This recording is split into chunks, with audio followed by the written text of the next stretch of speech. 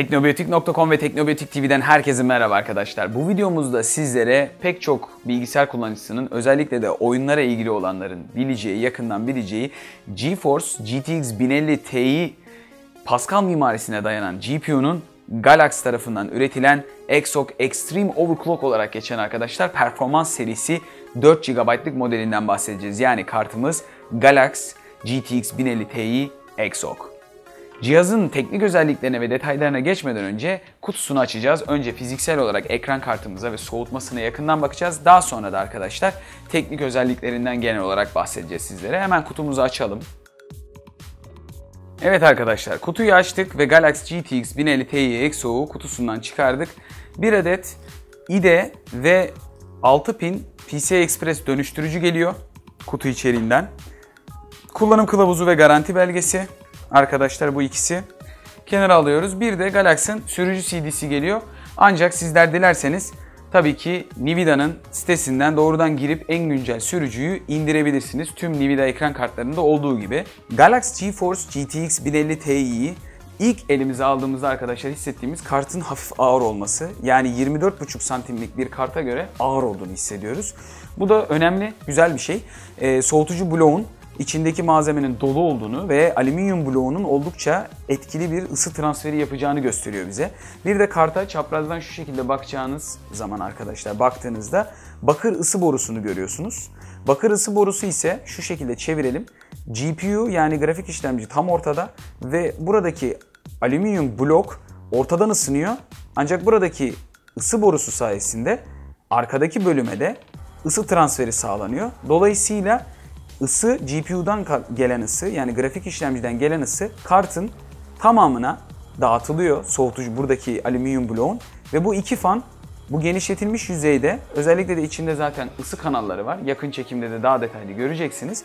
Bu ısı kanallarının içinden hava hızla geçiyor ve ekran kartı hızlı bir şekilde soğuyor. Bu overclocklu olarak gelen yüksek performans kartı olduğu için Exos serisinde zaten soğutma performansı ekstra yüksek olarak seçiliyor kartlarda. Ancak kartı ilk defa görenler için soğutmasının iyi olduğunu ve bloğunun ağır olduğunu söyleyebiliriz. Bunun dışında söyleyebileceğimiz kartın arka tarafında bir adet HDMI çıkışı görüyorsunuz. HDMI 2.0, bir adet DisplayPort 1.4 ve 2 adet de DVI portu yer alıyor arkadaşlar dual olarak. Bunun dışında kartın üst tarafında bir adet 6 pin güç girişi bulunuyor ki zaten videomuzun başında da PCI Express 6 pin ve Molex dönüştürücünün kutu içeriğinden çıktığını söylemiştik. Yani standart power'ınızda eğer PCI Express portu yoksa e, bu dönüştürücüyle de kullanabilirsiniz. Kart e, 1050 Ti olduğu için o 75 Watt güç tükettiği Galaxy'nin sitesinde yazıyor. 12 volt kanalından 75 Watt çekiyor ve Galaxy'nin önerdiği 300 Watt ve üzeri bir güç kaynağı. Biz de kaliteli 300 Watt ve üzeri bir güç kaynağını öneriyoruz. Ee, bunun dışında söyleyebileceğimiz arkadaşlar kartın teknik özelliklerini e, listemizden okuyalım ki hata olmasın ekran kartlarında çok özellik olduğu için. Şu şekilde hızla geçecek olursak kartımız 24,5 santim uzunlukta ve 126 milimetre yani 12.6 santim yükseklikte arkadaşlar. Bir de kalınlık olarak şu şekilde çaprazdan gösterelim 39 milimetre bir kalınlığımız var. Bu anlamda iki slot kaplıyor ve çok kalın bir kart olmadığını söyleyebiliriz. Ancak soğutucusu ağır ve e, soğutucunun çıkıntıları sebebiyle de kasanıza takarken 24,5 santim yer olduğunu öngörelim. Bu genelde mini ITX küçük kasalarda ancak bir sorun olabilir. Onun haricinde çoğu kasaya sorunsuz bir şekilde ATX kasaların hepsine sığabilecek bir boyutta, kompakt bir boyutta. 75 Watt güç tükettiğini belirttik. Bunun haricinde 6000 PCI Express bağlantısı olduğunu belirttik arkadaşlar. 4096'ya 2160 çözünürlük destekliyor 60 Hz'de. DirectX 12 desteği var. PCI Express 3.0 standartında OpenGL 4.5 destekliyor. Bunun haricinde XOC serisinin en önemli özelliği hız aşırtılmış olarak gelmiş olduğunu söylemiştik.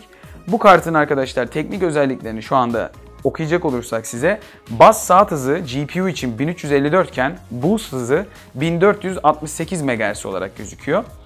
Memory yani bellek hızı ise arkadaşlar 3504 yani dualde 7008 MHz olarak gözüküyor. Bu da standart kart değerlerini birazdan yanda vereceğiz. Standart bir 1050 Ti'ye göre XOC'nin hız farkını da tabloda göreceksiniz.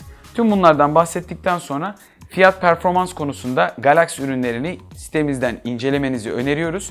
Özellikle daha önceki videolarımızda olduğu gibi ekran kartıyla beraber kullanacağınız diğer bileşenlerini fiyat avantajlı paketleri de teknobiyotik.com'dan inceleyebilirsiniz. Bu sayede işlemci, anakart, bellek gibi sistem güncellemede önemli olan, belki de ekran kartı kombinasyonlarıyla sistem güncellemede önemli olan bileşenleri uygun fiyata teknobiyotik.com'dan alabilirsiniz.